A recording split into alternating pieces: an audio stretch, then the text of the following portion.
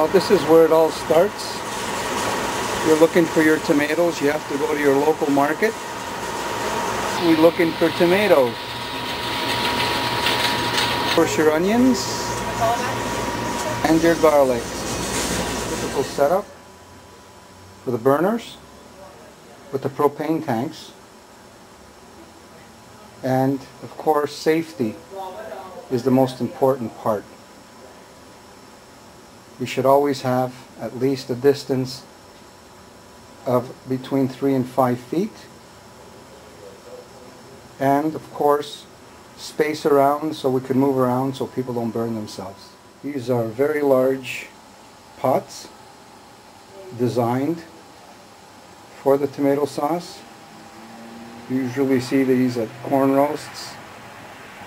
They're usually made out of aluminum and they're very expensive. Welcome to the Italian Cook. Today we're going to be making tomato sauce.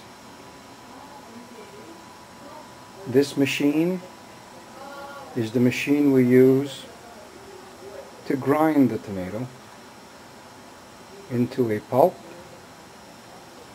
where we then cook it.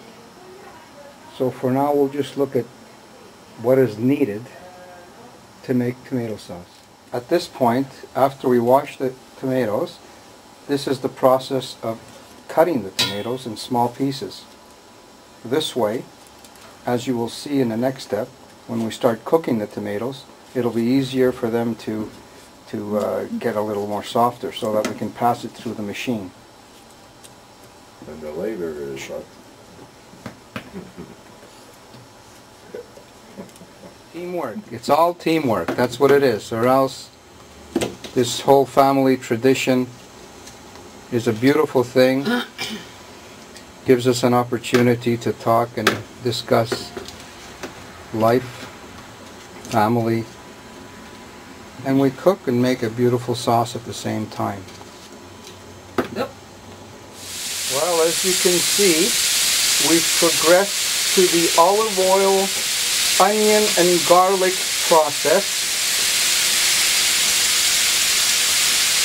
You're probably asking at what, um, how much you have to cook them. How much do you have to cook them, Elena? Until they're soft.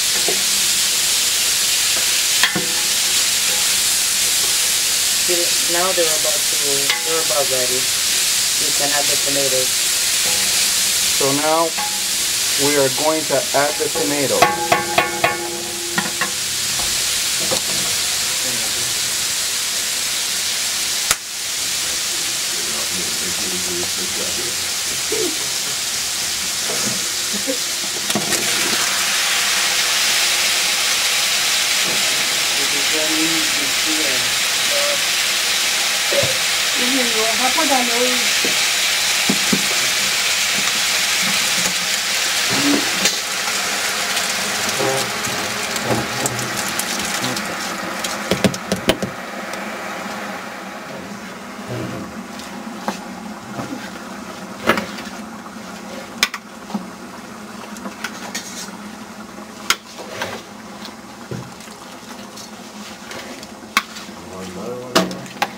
Wait till they soften a little bit and then you can mix them.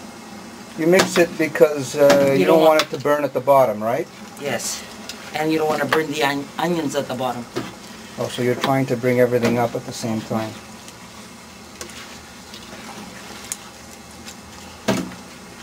It's like canoeing. Eh? Yeah. Better have strong arms. Gotta be a real strong Sicilian woman to do that, let me tell you. Mm-hmm. All you men out there wonder about Sicilian women. They're very strong.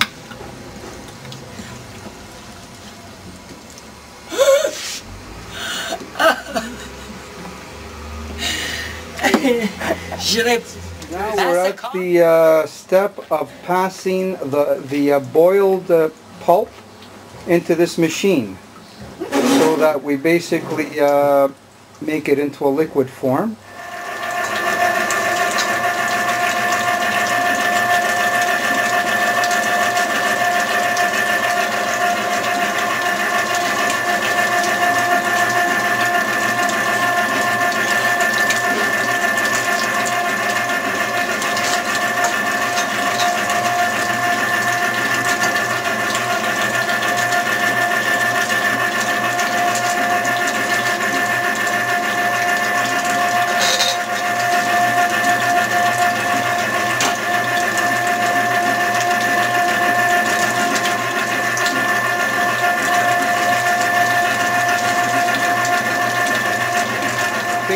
Basically we're gonna add the salt. How much salt are you putting? It's a lot. A look means uh, by the eye, but I've counted three palms of, of salt. Uh, there's approximately 65 liters of sauce in there, so make your own calculations. So three handfuls of salt for 60 liters of sauce. What, what did you, what did you say? You taste later and adjust your salt accordingly. Very good. Now what's next? What's coming next? Now we'll put some uh, oregano, Oregano. Eh, does it specifically have to be fresh, or you're using dry, right? dry. Okay, hold on now. One palm, About two. two palm, two palm to 60 liters of sauce. Two palm. Very good. What's next? Some garlic powder. Garlic powder. Even though you put fresh garlic, why would you put garlic powder one palm? It's a personal taste. If you like it, you put it. If not, Two palms. So two palms, oh my God, lots of garlic in that sauce, eh? So 60 liters of sauce, two palms of garlic. Anything else? yes, black pepper. Black pepper. Freshly grounded black pepper. One palm. Two palm for 60 liters of sauce. Unbelievable. This is unbelievable. Anything else? And I put some dry basil. Dry basil's coming. One palm. Two palm. Unbelievable. 60 liters of sauce. Oh, something special is coming. I have to. Eh? Oh, This is from the garden, fresh from the garden. Later, later, later. No, I'm gonna You're basically spreading it around, as I can see, stir it. stirring it.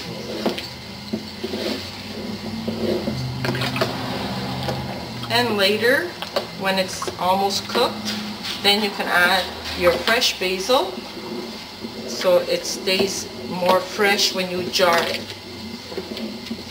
And you can also add fresh basil to your sauce, maybe half an hour before canning, so that way it stays nice and green when it's in your jar. Very good. Put it in the sauce. Yeah, you can put it in the sauce. Beautiful. Excellent. Uh, usually you can put, what, 30 or 40 leaves? Uh, approximately. Okay, great. Some people even like to put it just before they They close can. their jar, but I prefer that it boil a little bit. Very good. So now we wait till it boils before we can. Correct, Right. Or to your consistency and thickness. correct. Very good. So now we're coming to the process where the sauce is boiled. We've gotten the right consistency. And now we start to can. These are mason jars. As soon as you tighten the mason jar, what happens is when the sauce cools, it sort of like compresses and it stays fresh for a couple of years without refrigeration. This process over here is where we put the cans under blankets so this way it'll cool very very slowly. This is also to uh, so that the sauce doesn't go bad.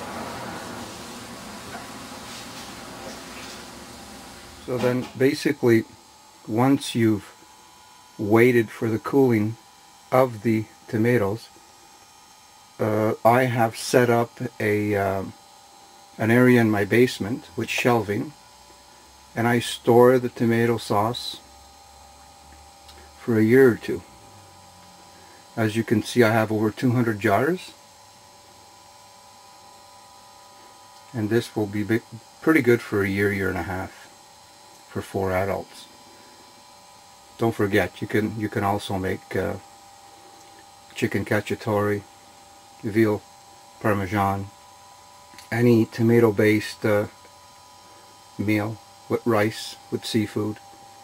So basically, this is it. Thank you for viewing my um, production on tomato sauce.